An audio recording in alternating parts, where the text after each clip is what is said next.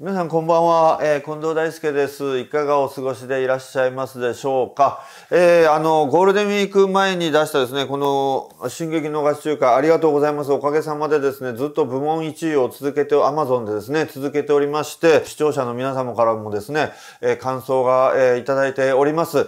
えー、今後またね、あの、そう、まとまってからこの、いろんな質問とかもですね、答えていこうと思いますのでですね、引き続きよろしくお願いをいたします。はい。ということで、今日はですね、えー、このお話をしたいと思います。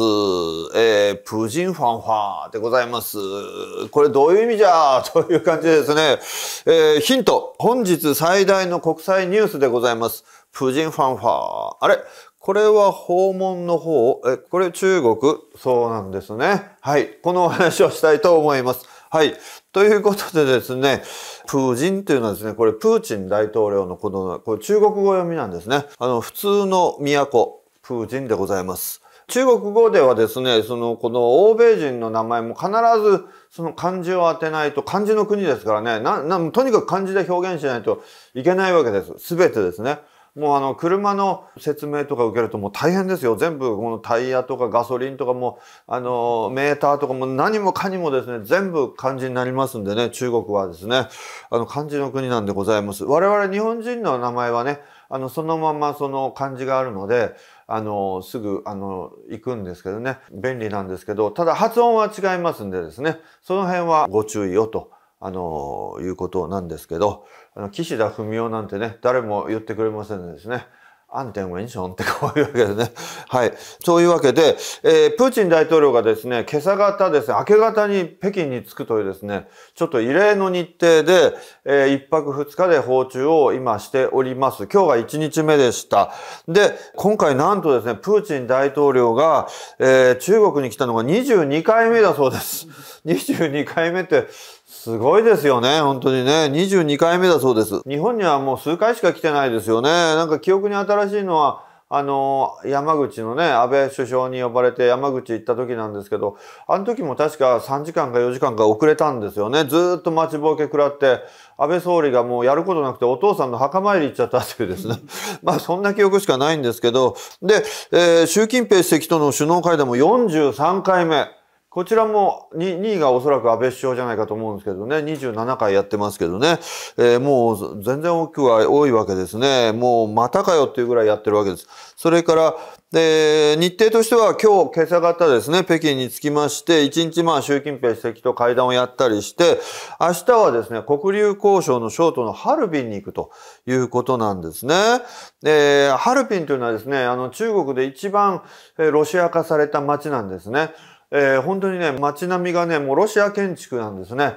ロシア、ここはロシアじゃないかと思うぐらいですね。あの、ロシアっぽい街なんですけど、ここを訪れるということでございます。はい。で、今日のですね、えー、首脳会談なんでございますが、それに先駆けてですね、昨日ですね、あの、プーチン大統領は中国の国営新華社通信の、えー、独占インタビューに答えてます。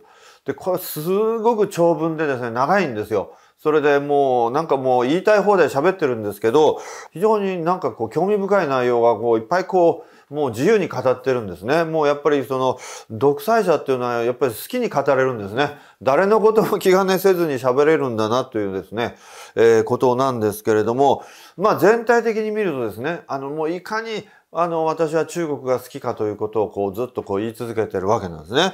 で、例えばこんなこと言ってます。ロシアと、えー、中国は共に日本軍国主義と戦って勝利した仲なんだと。いうことですね。もう日本が共通の敵なんだと。我々と、えー、中国とね、一緒になって日本をやっつけたじゃないか、昔仲間なんだと。こう、こういうとこから入ってるわけですね。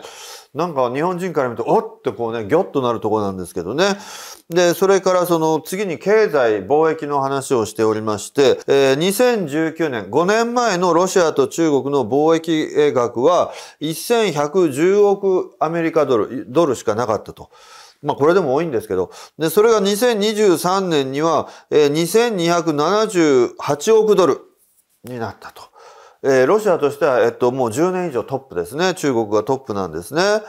で、えっと、まあこれ、中国側の統計だとね、2401億ドルなんですよ。まあちょっと違うんですけれども、で、まあそれはいいとして、えー、しかもですね、9割以上は自国通貨で決済しているというわけです。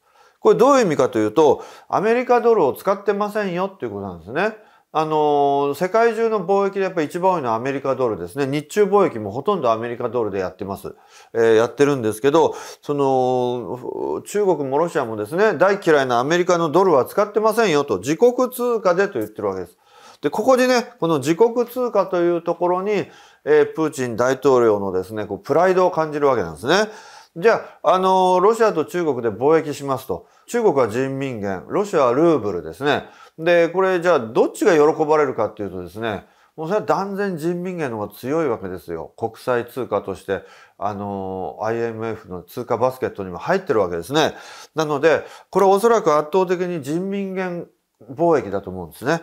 なんですけど、その、そこがプーチン大統領のプライドで人民元貿易をやってるとは言わないわけです。自国通貨でと言ってるわけなんですね。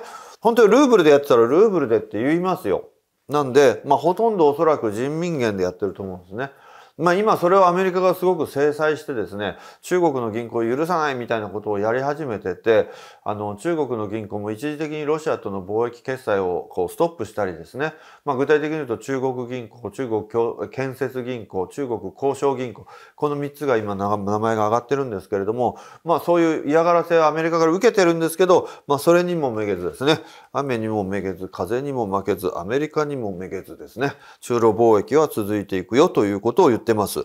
それからですね、歴史、プーチン大統領歴史が大好きなんですね。で、我がエカテリーネ2世はですね、あの、ロマノフ王朝の頃の王様ですよね、エカテリーネ2世はですね、中国宮に住んでいたとかですね、あの、ロシアのあの、ロマノフ王朝のね、宮殿が有名ですけど、実際に自分の部屋はね、住んでたところは中国宮、全部中国のものでまとめててですね、あの、中国に住んでたんだと。中国の、えー、様式のところにね、好きで住んでたんだとかですね。まあこれヨーロッパで流行ってたんですね。中国級っていうのはですね。まあそれはある、あの、あるとは思うんですけど、まあそんなことを言って、じゃあここじゃあどうなって、今どうなってるの燃えちゃったと。まあそれは余談ですけど。まだありますよ。えー、去年ですね、なんと73万人以上のロシア人が訪中中したと。言ってますね。最近ですね、もう中国旅行する人って私の周りにもゼロなんですけど、日本人もほとんど行ってません、今中国にですね。なのでまあ、欧米人も行ってるとは思えないので、おそらくロシア人が一番多いのかもしれませんね。で、それからこれもびっくりしたんですけど、私は中国武術の専門家であるとあの、あなたはやってたの柔道じゃなかったんですかってこう言いたくなるわけですけどね。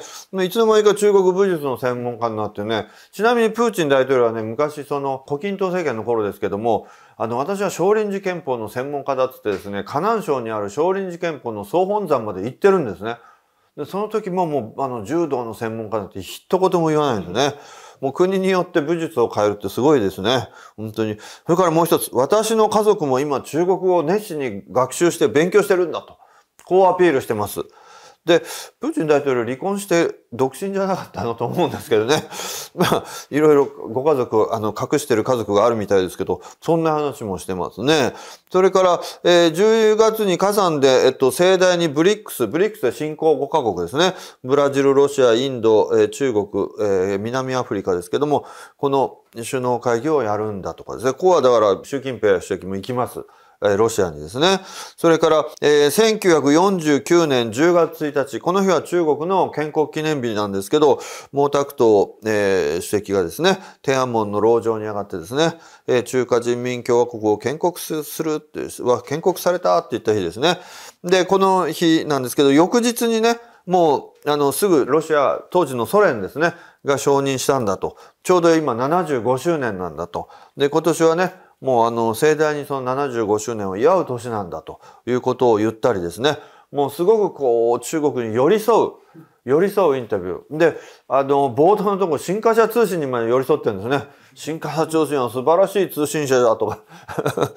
まあそういうことができるわけですね。プーチン大統領は中国は必要なんですよ。はい。で今日行われた首脳会談何を話したのかと。いうことなんですけど、本当に話したことは秘密でございます。まだ漏れ伝わってきておりません。新華社通信が、とか中央テレビですね、あの、習近平の言葉一部報じましたけど、そこはですね、まあ5期目ですね、プーチン大統領が5期目になって祝福する、しかも初めてね、5期目になってすぐ北京に来てくれたと、これを歓迎したいということですね。ちなみに習近平主席も、え2013年に最初に国家主席になった時はですね、その翌週、もう真っ先にプーチンのもとにモスクワに行ってます。それから去年の3月ですね、3期目を発足、習近平政権発足させた時も、また翌週真っ先にモスクワへ行っているという中なんですね。お互いすぐ来ると。いう中ですね。それで、中ロ関係が発展すれば世界が安定し繁栄するんだと。こう言ってますね。じゃあ、これウクライナ戦争でですね、中国何やってんだということですよね。そんだけプーチンと仲いいんだったら早くプーチンやめさせろと。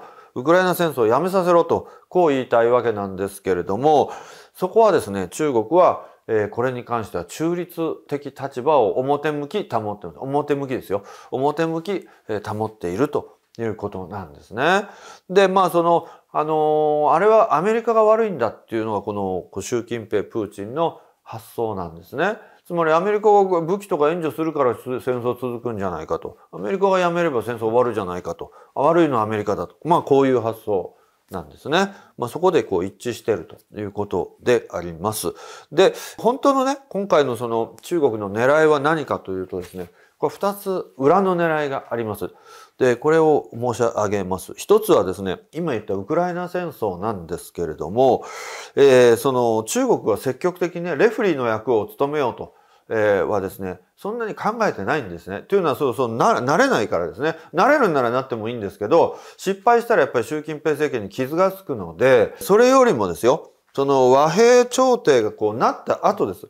戦争がストップした後に、あの、ぐちゃぐちゃになったウクライナの都市をですね、こう再建しないといけないわけですね。で、その再建するこうインフラ建設でこのウクライナ特需を狙ってるわけです。中国はですね。あの、そのビル作ったり、橋を作ったり、道路作ったり、もう一回作り直さなきゃいけないけど、ぐちゃぐちゃになっちゃってるわけですね。で、あれを中国はやりますせと。世界中からお金を持ってきてと。こう、こういうわけですね。このウクライナ特需をこう目論んでいるというのが一つでございます。それから、えー、もう一つ実はですね、裏の狙いがありまして、そのロシアをですね、もう人民元経済圏にしてしまおうと。まあ今もかなりなってるんですけど、ロシアは今、えー、ヨーロッパとかアメリカから制裁を受けていてですね、もう中国しか頼るとこないわけですよ。車もスマホも何もかも中国から持ってきてるわけです。中国がいないともうやっていけないわけです、経済的に。なのでもう何もかも今中国から輸入しているという状況なんですけど、これをもっとですね、中国付けにして、もう完全にロシアをですね、人民元経済圏にしちゃおうじゃないかと。まあ、こういう狙いなんですね。で、その先に見ているのは逆ニクソン防止ですね。これは今ですね、最近こう北京の間であの言われて始めた言葉なんですけど、逆ニクソン。これどういうことかというと、えー、1972年ですね。あのもう今から50年以上前ですけれども、当時のアメリカのニクソン大統領がですね、中国を突然訪問する。これニクソンショックと言われましたけれども、当時のこのソ連と中国ですね、完全にこう仲違いをさせるわけです。アメリカは中国を取り込んで、えそれまでアメリカ対ソ連、中国だったのを、アメリカ、中国対ソ連にするわけです。ソ連を孤立させたわけです。社会主義で。で、ソ連はこうガタガタガタガタガタってきて崩壊していくわけですね。なので、えー、今度ですね、11月、今年11月にトランプ前大統領が勝利したら、2期目のトランプ政権始まるわけです。来年の1月からですね。で、そうすると、トランプとプーチンは仲がいいっていうのはもうこれ周知の中なので、この逆ニクソンやられるんじゃないかと。プーチンを、トランプがプーチンを引っ張って、そのアメリカとロシア対中国みたいなね。そういうことをやられるんじゃないかというのをこう恐れて、これ逆ニクソンですね。これを恐れているわけです。なので、今のうちですね、もうトランプが出てくる前にロシアを完全に中国の経済圏に入れちゃうと。そうするともうロシアは中国から逃げられないわけです。いくらトランプの方行こうと思っても行けないわけですよ。で、これを狙っているということがあるんですね。で、まだ細かいことはですね、今日の段階では出てきてませんので、まだ続報があればですね、えー、この問題、えー、引き続き、えー、やりたいと思います。ちょっと今日は難しいことをですね、あの、コンパクトにしていろいろ話してしまいましたので、ちょっと頭が混乱されたかもしれないんですけど、そういう場合にはですね、え、ガチ中華でも食べてですね、あの、元気を出していただけたらと思います。どうもありがとうございました。